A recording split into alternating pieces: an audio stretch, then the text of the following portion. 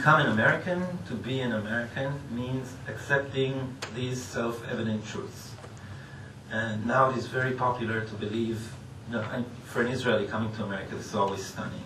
Because you hear, I, I was a, an, an assistant, a teacher's assistant at Rutgers University, which is, by the way, the most diverse, is in the middle of the most diverse county in the whole union, in, in New Jersey. And, and you hear people there telling you, uh, college kids, that they believe that each and every person has the right to believe in her or his own values. And they hardly notice that this is already a great shared consensus. That already in this is individualism, equality, gender equality, the rest of it. And no one in America is allowed to believe otherwise when it comes to fundamentals. This told me once very clearly a, a, um, retired uh, Jewish federal judge in a in a community named Great Neck, Great Neck uh, in Long Island, where Jews are not starving. and, and he said, he said, look, a guy came to me. I don't want to mention what nation he beat his wife, and he came from with a lawyer from Berkeley who said, well, you know, in our culture it's different. It's good for her, all that. He said, look, if it's your culture, go back to your own country, do that. Here it's against the law. So the set of values Americans already share is vast enough for them to believe that everyone can believe in their own values so long as they subscribe to ABCD. I can tell you what ABCD is, but I won't repeat it again. This society is an immigrant society, like America is. We forget in Israel and America that this is the exception, not the rule. This is a very strange kind of, of society. And if one wants to go to the bottom of the difference between such societies and I'll call them normal national societies for our purposes, then if in a normal society, say England, France, the principle of unity, what makes people feel they are a we, us, is the experience of a common past. I'm stressing each and every word of these. Experience in the immediate sense of a common past. Immigrant societies don't have that. Their immediate experience is not of a common past. So their principle of unity lies rather in a plan for a common future. Uh, and this is a very crucial difference.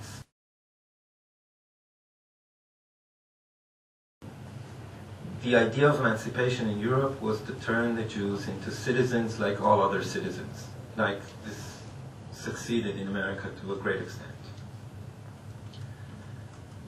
And so they were to become Jew, uh, uh, Germans of Jewish faith, or Frenchmen of Jewish faith, or Englishmen of Jewish faith. But this didn't work because it turned out that being privately Jewish and publicly German or English or French somehow didn't um, uh, somehow one couldn't reconcile the two poles of this um, formula or the two parts of this identity. And some of the reasons are very trivial. If you're Jewish and you go to a German school then the day of rest is Sunday and then you you can't Lishmor Shabbat. Um, the food is not kosher.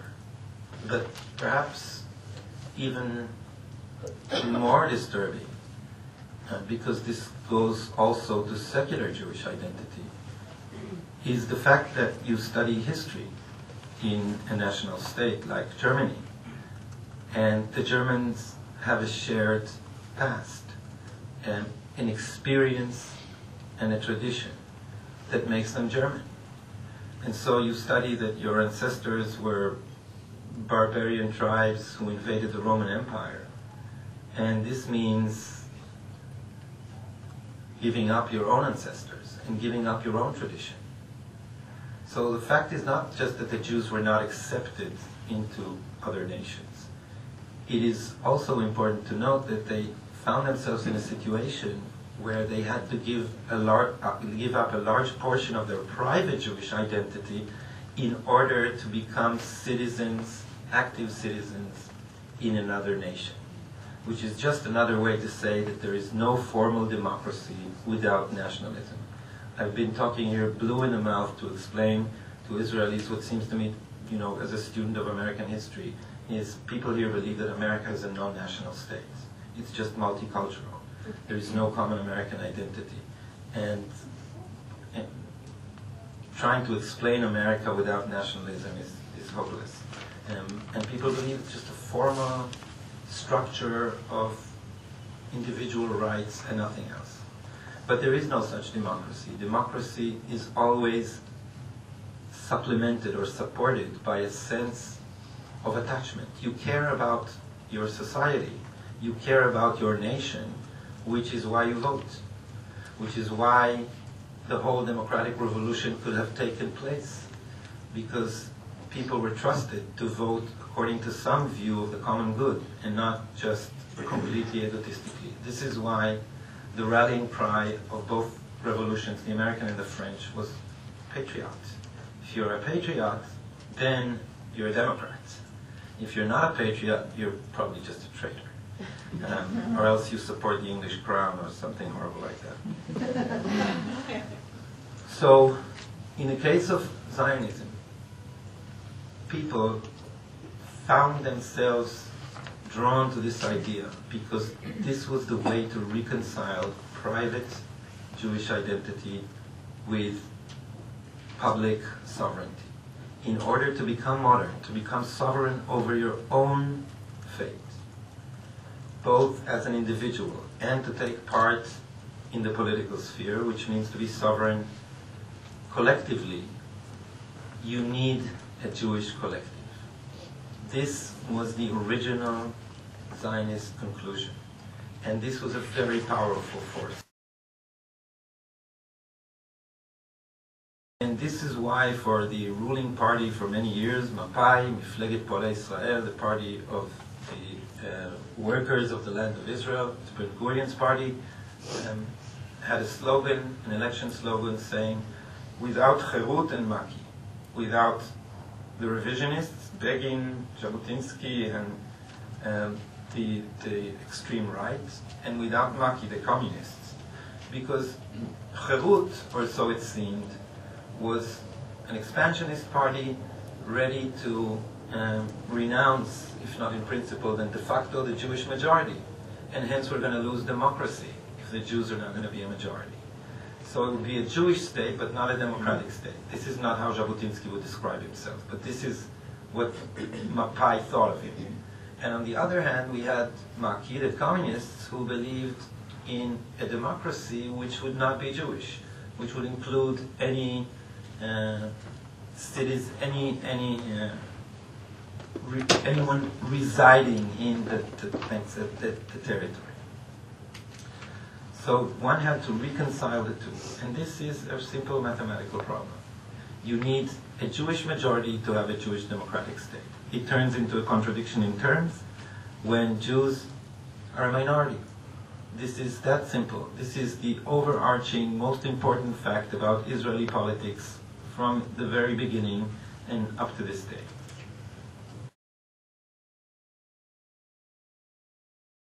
And this consensus held more or less until the end of the 60s. At the end of the 60s, um, the most important turning point in Israel's history came about, and this was the lightning victory in the War of 67. The mood here before the war was there were jokes like last to leave the stage should turn off the lights and things like that. And after the war, there was an unbelievable euphoria. So the euphoria was great, and everybody's head was dizzy. And with the exception of Levi Eshkol and Amos Oz and a few other astute um, observers, we thought that everything's going to be well from now on.